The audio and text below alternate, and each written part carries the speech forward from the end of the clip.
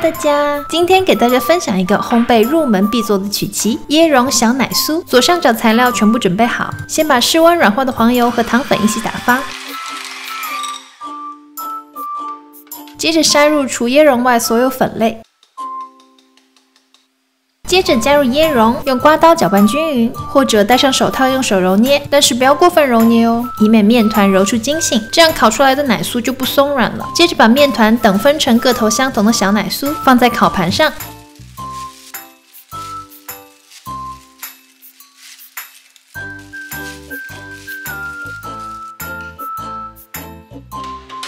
放入预热到一百二十度的烤箱，烤五十分钟即可。